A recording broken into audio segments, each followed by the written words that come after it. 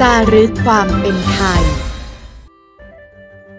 ควายไทยเป็นสัตว์ใช้งานเกษตรกรรมสารพัดประโยชน์ที่ส่งคุณค่าคู่บ้านคู่เมืองไทย วิ่งควายจึงเป็นการแสดงออกถึงความผูกพันระหว่างชาวนาไทยกับควายไทย และเป็นกีฬาเก่าแก่ดั้งเดิมที่มีเอกลักษณ์โดดเด่นชนิดหนึ่งของไทย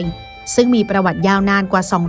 250 ปีเป็นการเล่นขี่ควายแข่งขันวิ่งเร็วกัน โดยผู้เล่นแต่ละคนจะขึ้นขี่หลังควายของตนเองอยู่หลังเส้นเริ่ม เมื่อได้ยินสัญญาณเริ่มเล่น ก็จะควบคุมควายให้วิ่งให้เร็วที่สุด แข่งขันกันไปให้ผ่านเส้นชัย ควายใครวิ่งผ่านเส้นชัยก่อนจะเป็นผู้ชนะ ในปัจจุบันก็ยังนิยมเล่นกันอยู่ โดยเฉพาะประเพณีวิ่งควายที่จังหวัดชนบุรีที่มีชื่อเสียงโด่งดังไปทั่วโลก และนี่คือจารึกความเป็นไทย